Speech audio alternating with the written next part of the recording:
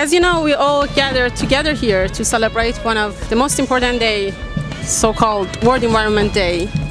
It might be a single day in a calendar, but it must be our priority for everyday life because we're doing something wrong day by day by declining our environmental condition. Air pollution, climate change, sea level rise, soil pollutions, all those just happen because of our ignorance.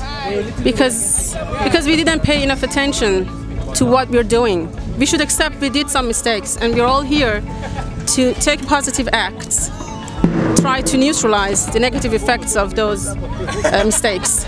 So we're all here to cultivate environmental awareness into the people's minds, public, students. We're here to announce that we did something wrong. We're here to try to compensate.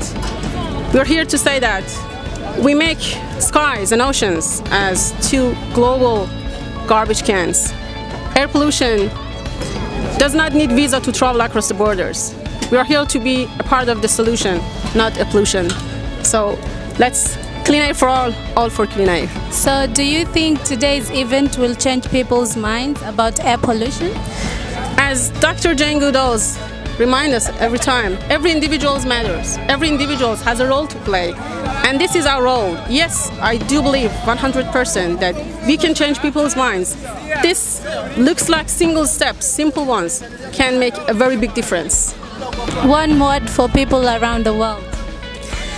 The good thing about the World Environment Day is this is not just a local actions, this is a global event. So every other people, right now, more than 1,000 different companies, students, universities, they've involved. So all of us gonna share our news with the world and we will show to the world that we're not alone.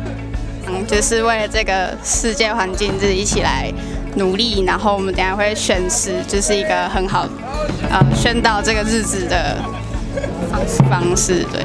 Uh, actually ni ngumu sana kupangilia mipango kwa haraka kiasi hicho, lakini tunajitahidi kuelimisha jamii na watu wote hapa Taiwan katika nchi nzuri kabisa kuhakikisha kwamba air pollution au uh, air pollution inakuwa ndogo kidogo, tunapunguza uh, kwa sababu kuna maafa na maangamizi kadha wa kadha hapa Taiwan yanaweza kutokea. World Health Organization has defined air pollution as the presence in air of substance put there by acts of man in concentration sufficient to interfere with the comfort, safety, or health of man or with the full use or enjoyment of his property.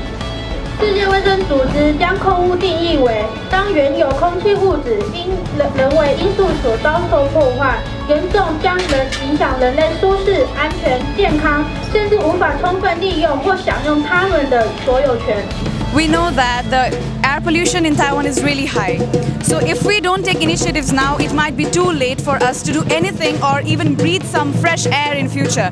So our small in initiative can make a huge difference, we believe, because together we can and we are doing it as a whole. As the entire university is taking part in this today.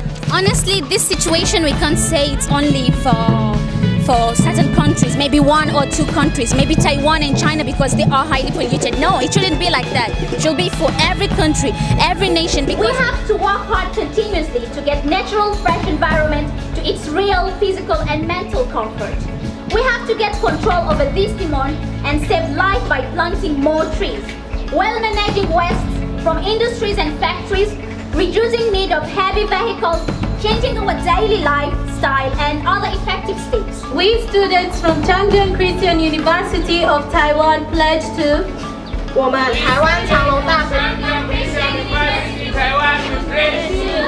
我们台湾长隆大学的学生在此宣誓，我们台湾长隆。